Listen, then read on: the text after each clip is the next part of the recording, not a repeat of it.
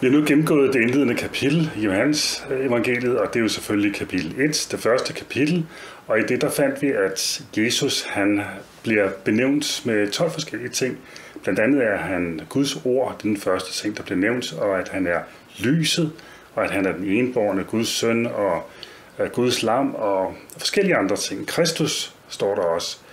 Og øh, alle disse ting, alle disse benævnelser af Jesus placerer ham som en central autoritet på alle livets vitale områder. For eksempel, hvis vi tager mm, lyset, der står, at, der står noget med, at Jesus han, er, han har liv, liv i sig, og livet var menneskets lys.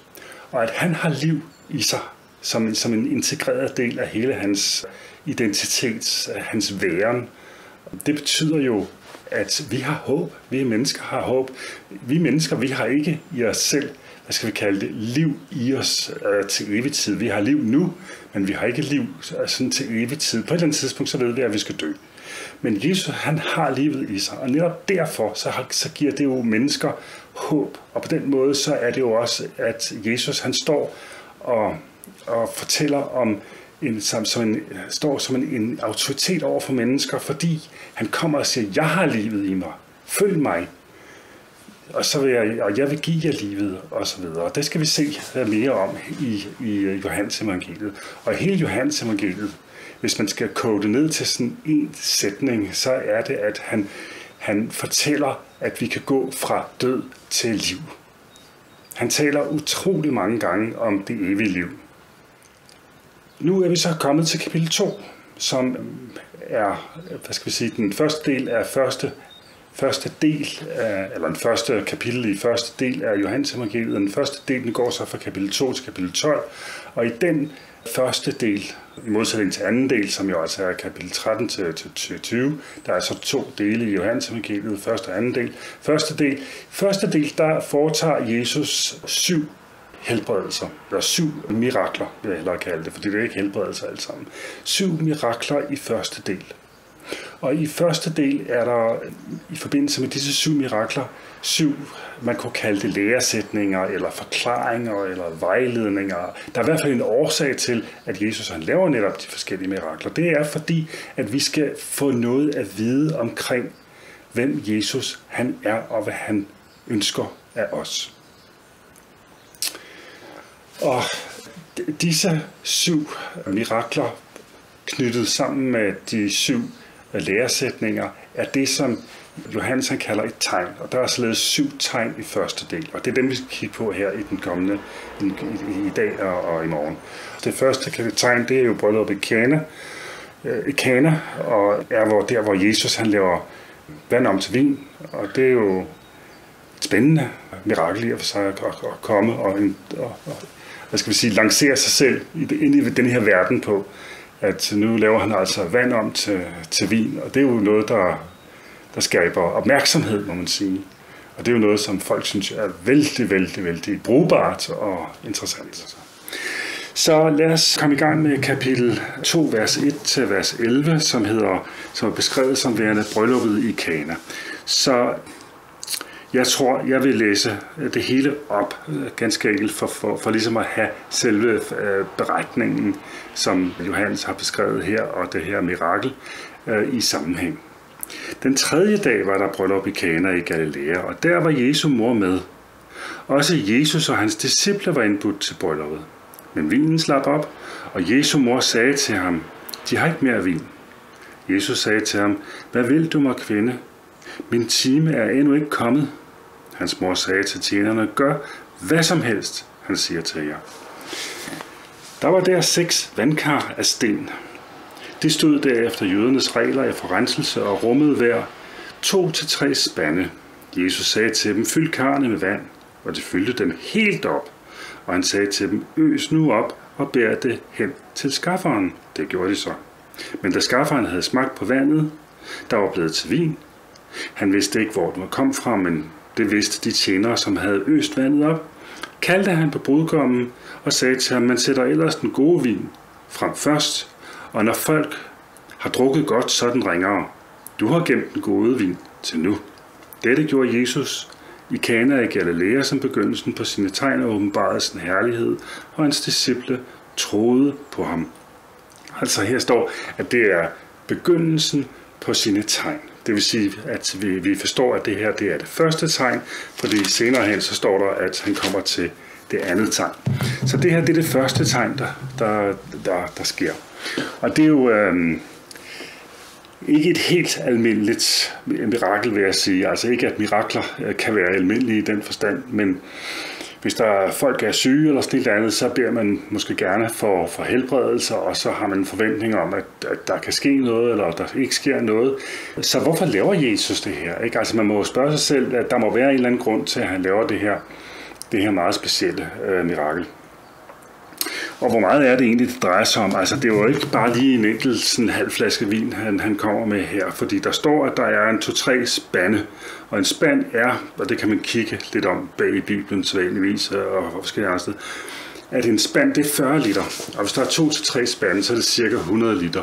Og så stod der, at der var seks vandkar, det er altså 6 gange 100, det var øst til, til kanten, så det er altså 600 liter vin, som Jesus laver altså over en halv kubikmeter.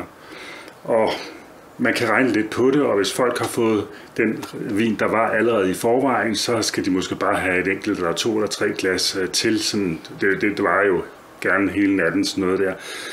Øh, så øh, der har vel været til yderligere 1000, måske 2000 menneskers øh, forbrug af, af vin til sådan et, et bryllup der.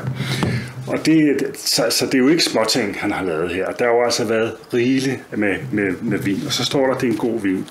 At man ellers først vender den, øh, venter med at, at, at komme med den gode vin til sidenhen, altså, til, til, altså man, man starter med den gode vin, hvor folk de er meget sådan, øh, opmærksomme og, og smager på det hele, og er sådan lidt, øh, lidt, for, lidt tentative, lidt forsøgsvise i deres, deres øh, deres tilgang til, til, til det her bryllup, og hvad der, hvem det er, man sidder ved siden af, og alt sådan noget der. Øh, og så sidenhen den dårligere vin. Nu er der altså, øhm, den, den her vin er altså, altså, altså skafferen, eller budgammen har jo nok kommet med, med, den, med den, den gode vin allerede, så det, den, den, den allerbedste vin til sådan et kæmpe bryllup her, den er allerede serveret. Så hvis den er bedre end den allerbedste, så er det jo en virkelig, virkelig, virkelig god vin, som Jesus han har lavet. Og han har lavet masser af det. Og det vidner jo lidt om, hvad det, hvor, hvor stort det er det her. Altså, at Jesus han kommer til de her mennesker, og der kommer, og jeg tror, at de mennesker, som, som er der, altså det er jo, det er jo formentlig jøder og israelitter alle sammen, eller, eller mange af dem i hvert fald, det, det er jo nok formentlig jøder og israelitter, de, øh, de fleste af dem i hvert fald, og og de kender jo, altså de kender jo deres bibel, for ikke fordi de måske kan læse, men fordi de hver eneste sabbat, der kommer de i synagogen, så hører de Guds ord, og der hører de Toraen, altså de fem mosebøger, de uh, får læst en salme op, og, og nogle profeter, og gerne Esajas, de elsker jo Esajas. Og netop derfor, så er det, at der måske er nogen, der er kommet der. Og så har de sagt, hold da op, altså det, det virker det virker som om, at, at jeg har oplevet det her før. Det virker som om, at, øh, at jeg, jeg er der i en eller anden sammenhæng, som jeg har hørt om, som jeg har fået fortalt, eller sådan et eller andet. Og der er sådan noget lidt himmelsk over det her bryllup. Og jeg tror, at der er en henvisning til Esajas kapitel 25, vers 6-10 ja, ja, altså det, ja, det står ikke nogen steder, men det tror jeg.